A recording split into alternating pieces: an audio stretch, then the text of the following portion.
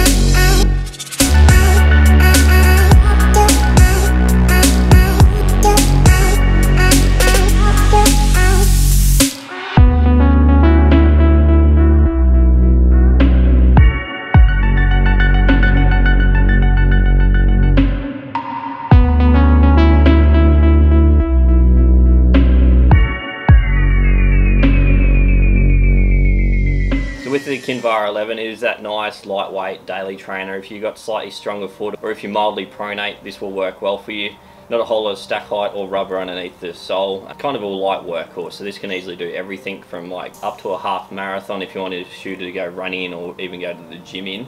This can easily hit all those boxes.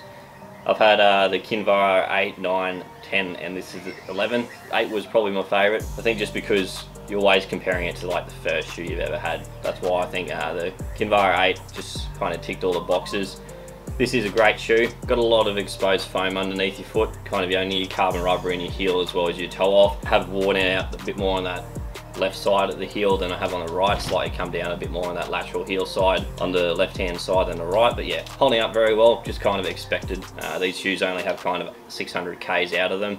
You got just your exposed foam in the forefoot, just going into that push off, that's where you kind of will see the most wear on this. Don't have a whole lot of wear on that XT900 at the uh, big toe section, just a lot of that forefoot wear is coming out of this. Did love uh, the Kinvara 10, but I just thought that the sizing wasn't a whole lot right.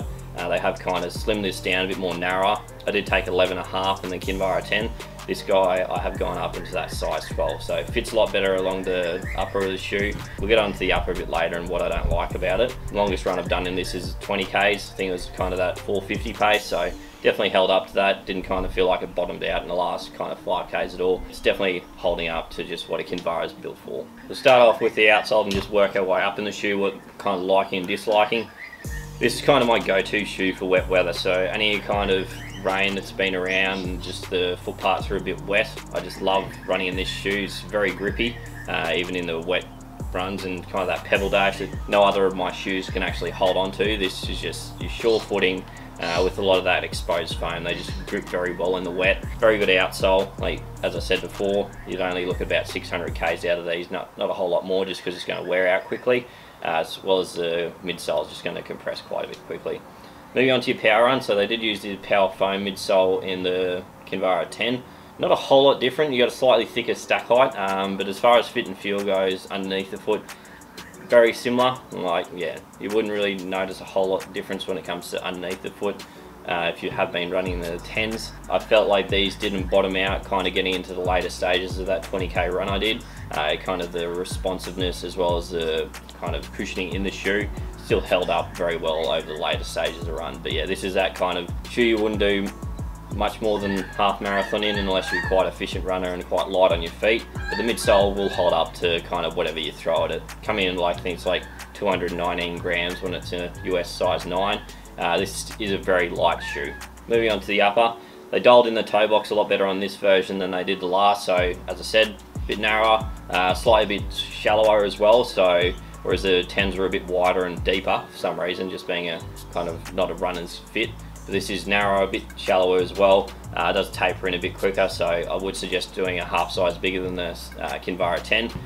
With the kind of lacing system, I'm not a whole lot sure why they added a bit of kind of re repulsory or whatever you call it. Customers upholstery, is that it? What are you talking about? This, this on the, the lacing system. They're just like another layer of fabric here that just doesn't need to be there. It kind of constricts you from tying it down around the top of your midfoot quite well. Uh, they could easily just yeah, not have that there and just have some like 3D print uh, that'll do the same job and probably take off about another 9 grams. Locks down very well. The heel's slightly bit higher in this as well uh, than the Kinni 10. Did like this as far as the lockdown goes over the whole shoe. Can still utilise that lock lace that I do on all my shoes. Very good light workhorse. Holds up to basically whatever you throw at it. This kind of is my go-to shoe for just that light but still enough cushioning underneath your foot. Not a whole lot of torsion through that midsole, so if, even if you get slightly inefficient uh, into the later stages you run, you're just not really going to be slopping around in the shoe, so isn't as flexible as something like a Freedom is by Saucony. With the Kinvara as well, it's not supposed to be that kind of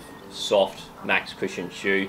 Uh, that's what you buy the Triumph for. Uh, if you want something that's a slightly bit lighter weight for the compared to the Triumph, you buy Freedom. This is just that kind of slightly firmer, responsive shoe. You're not going to kind of sink into it as much. If you want something that's a bit more snappier, this will definitely do that job for you. Running with that 4mm drop, I think it's like a 28 to 24 stack height. Uh, so quite a bit of cushioning underneath your shoe for a shoe kind of that is built for a light daily trainer. Kind of goes up similar to a New Balance Beacon.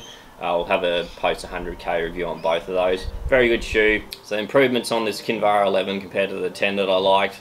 The upper is a lot better as, as far as fitting goes.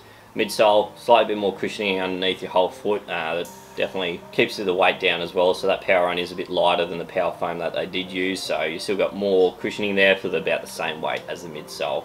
But yeah, very good sh shoe for what it is built for. Uh, there's no, nothing really wrong, they just keep it quite simplistic over at Saucony. If you want to pick up a nice lightweight daily trainer, choose this if you're looking for one of those bad boys. Now with the Feetures sock giveaway, all you gotta do is head over to our Instagram page at Beyond Dafeet.